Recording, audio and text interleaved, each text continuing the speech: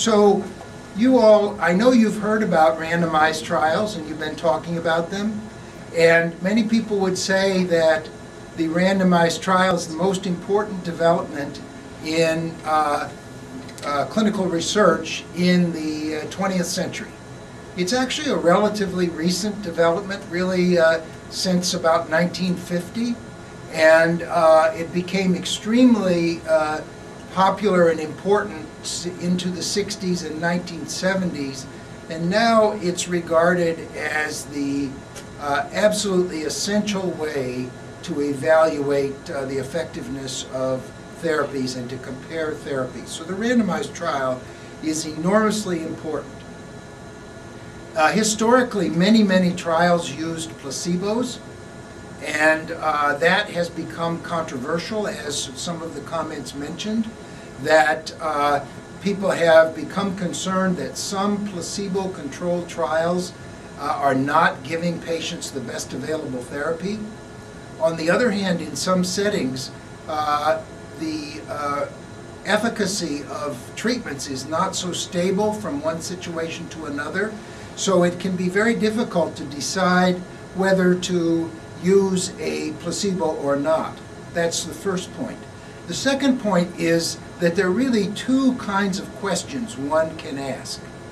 One question we can ask is whether drug A is better than drug B.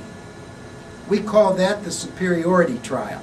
And that's the kind of design people used with great frequency for, for years. The second kind of design asks, is A as good as B? And that approach, when you ask that question, you're basically approaching the question as a non-inferiority question. Now, why would you ever ask the question, is A as good as B? Well, you would ask that question if, for example, A is, uh, has fewer side effects, it's less expensive, it has easier administration, maybe once a day compared to, uh, compared to four times a day, or maybe uh, oral instead of in uh, IV.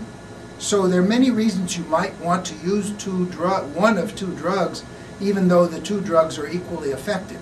So also, there's a kind of situation called a Me Too drug, uh, where you have another agent that's very similar to approved drugs, and you'd like to use that drug as well. So now, um, let me see here, did I jump ahead too much? No. So, in response to the recognition that uh, we can't always try to show that the new drug is better than existing therapy, uh, more and more people have turned to the non-inferiority design.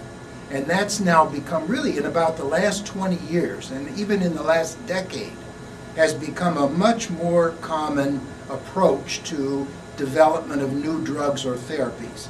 So in the non-inferiority design, what you do is compare an experimental treatment to another T, I call it in these notes, to another active treatment called C that has been shown to be effective.